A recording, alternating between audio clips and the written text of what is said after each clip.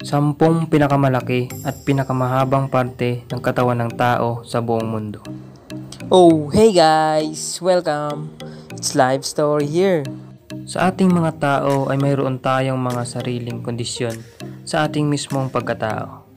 Na ang mga iba sa atin ay mayroong mga iba't ibang uri o parte ng katawan sa kanilang sarili na hindi katulad kumpara sa isang normal na tao. Kaya in this video ay pag-uusapan natin ang sampung pinakamalaki at pinakamahabang parte ng katawan ng tao sa buong mundo. I'm count to 10 down, so umpisa na natin. Number 10, pinaka-stretchable na balat.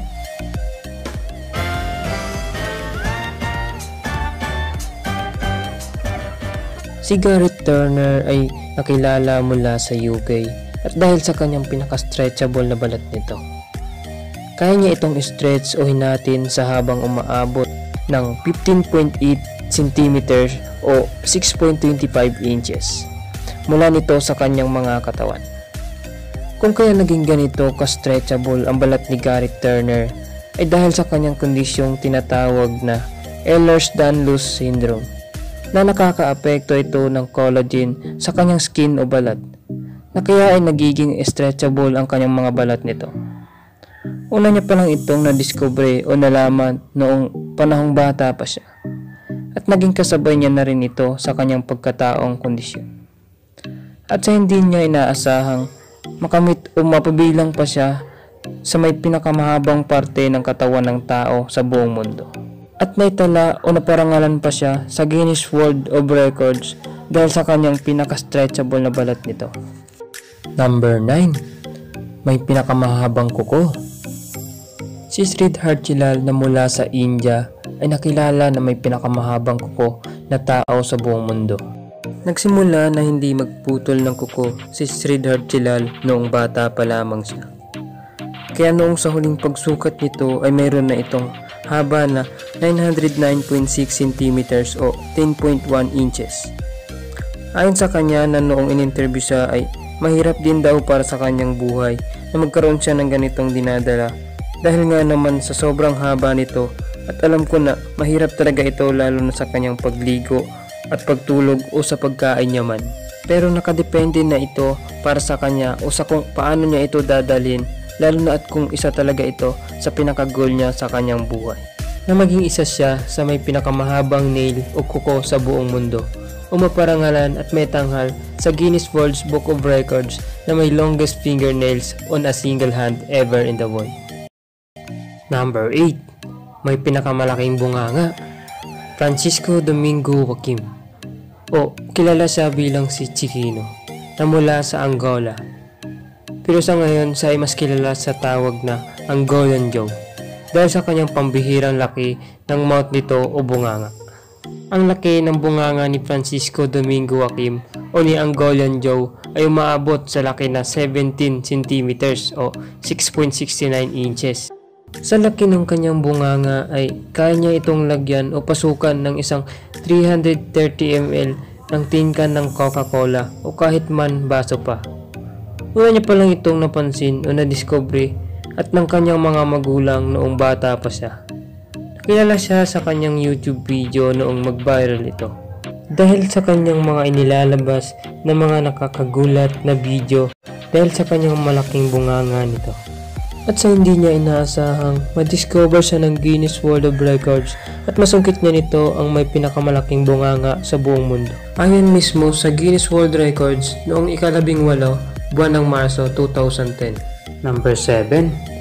May pinakamalaking paa Si Ibrahim Takeyola na mula sa Morocco ay nakilala dahil sa kanyang mahabang paa nito. Ang paa ni Ibrahim Takeyola ay ang layo nga naman talaga ng difference kumpara sa normal na mga paa lamang. Siguro kung tatanungin kita sa kung anong size ng paa mo, ay magiging mukhang katawa-tawa ka lamang sa haba ng paa nito ni Ibrahim Takeyola.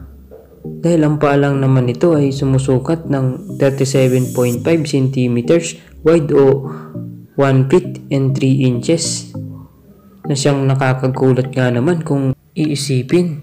Kung kahit naging ganito pala kahaba ang paa ni Ibrahim Takeyola ay dahil sa mayroon pala itong kondisyon na tinatawag na acromegaly na siyang dahilan na kung bakit iba ang haba nito.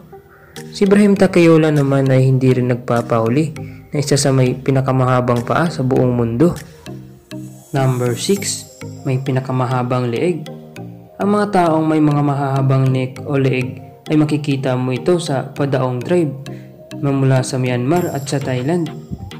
Ang makaramihan ng mga babae dito sa tribong ito ay naglalagay sila ng mga ring o mga bilog na gawa sa tanso at nilalagay nila sa kanilang mga leeg. Ayon sa mga sabi ng iba ay naglalagay daw sila nito sa kanilang mga leeg dahil sa isa na daw ito sa mga tradisyon nila na sinusunod sa kanilang tribo para sa mga babae. Well, kung naku-curious ka na kung gaano ba ito kabigat kapag nasa marami na ang nailagay nila sa mga kanilang leeg ay base sa Guinness World Book of Records na kung titimbangin daw, ito ay umaabot ng almost 15 kilograms ang bigat nito. And well, alam ko may isa ka pang gustong alamin o tanungin sa akin na kung hindi ba sila nahihirapan dito sa kanilang mga sarili kapag naging marami na ito sa kanilang mga leeg. Um, ang sagot ko lamang dyan eh, hindi dahil sa nakasanayan na nila ito at naging isa na rin sa tradisyon na dapat nilang sundin na kaya parang normal na lang sa kanila na mayroon silang mga ganitong nilalagay sa leeg. Number 5, may pinakamahabang dila. Nick Stoward na mula sa Monterey, California na ngayon kilala siya bilang the longest man dahil sa kanyang mahabang dila Si Nick Stober ay parang simpleng tao lang kung titingnan mo na hindi mo alam mayroon pala itong tinatagong may mahabang dila. Ang haba ng dila ni Nick Stober ay umaabot sa haba ng 10.1 cm o 3.97 inches. Sa haba ng kanyang dila nito ay kaya niya itong paabutin sa kanyang ilong at siko. Ayon daw ay simula pa nung bata pa siya ay Napansin niya na kagad ito sa kanyang dila na parang ibang normal ang haba. At noong mapakita at may pasukat niya ito sa Guinness World Records ay nakamit niya ang may pinakamahabang dila sa buong mundo sa ngayon dahil nahigitan niya ang mga pass breaker holder longest man record sa buong mundo. Number 4. May pinakamahabang ilong. Si Mimi Toshorek na mula sa Arbin, Turkey Inikilala sa kanyang pinakapambihirang haba ng ilong. Ang ilong ng ito ay may haba na 8.8 cm o 3.46 inches. Nung isinukat ng Guinness World Records ang haba nito. Si Mehmet Hosyurek ay nakilala sa buong mundo na may pinakamahabang nose o ilong. At dahil din nung naparangalan siya sa Guinness World of Records dahil siya ay may pinakamahabang ilong sa buong mundo.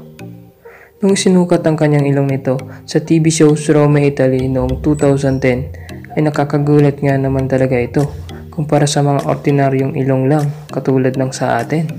Ang alam ko lang noong bata pa ako ay si Pinocchio lang ang may pinakamahabang ilong.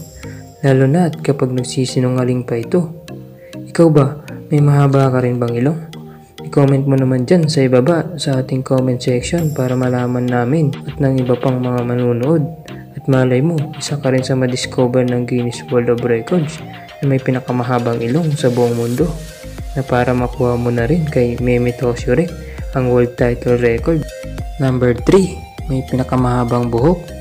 Si Chow Tan Bi na mula sa Vietnam ay isa sa may pinakamahabang buhok sa mundo at maraming mga tao ang nakakaalam nito dahil sa kanyang pag-viral nito sa social media nung makilala siya sa Guinness World Records na may pinakamahabang hair o buhok sa buong mundo.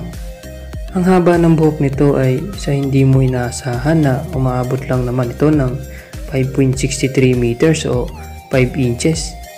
Si Chow Tan Bi ay may simpleng buhay lamang sa Vietnam at iwan ko kung bakit niya ito naisipang napahabain niya ang kanyang buhok nito. Na kung iisipin mo, mahirap talaga ito para sa kanyang simpleng buhay lamang. Pero meron naman siyang naipagmalaki dahil sa kanyang mahabang buhok nito na siya ay nakilala na may pinakamahabang buhok sa buong mundo.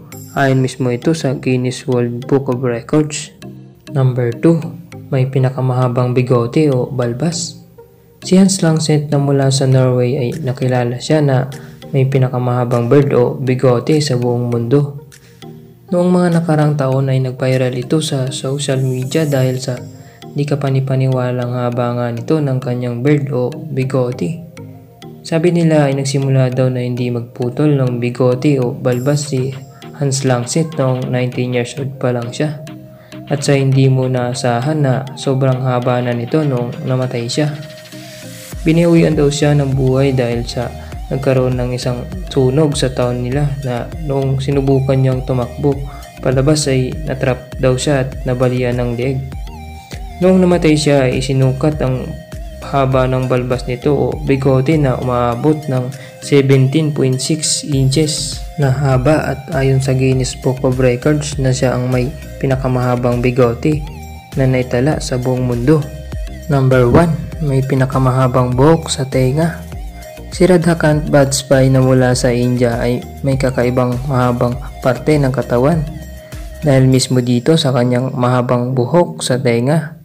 Napansin niya ito noong bata pa lamang siya na nag-iedad siya ng 18 years old.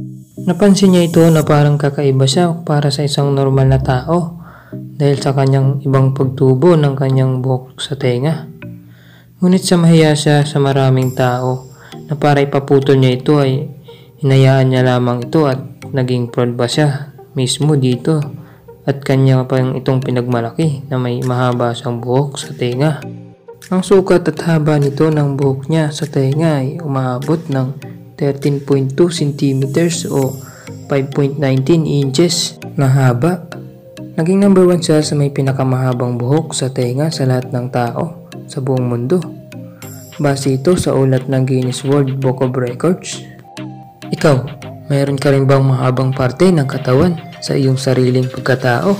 I-comment mo naman dyan sa baba sa ating comment section para malaman rin namin at malay mo, isa ka rin sa madiscover ng Guinness World Book of Records na katulad nila. At dyan na nagtatapos ang ating bidyong ito. Now I don't forget to like and subscribe sa ating channel at i-hit mo na lang rin ang notification bell button sa bandang right side para maging updated ka sa mga ating pang mga bidyong ilalabas. So this for today's video and see you to my next video. Thank you.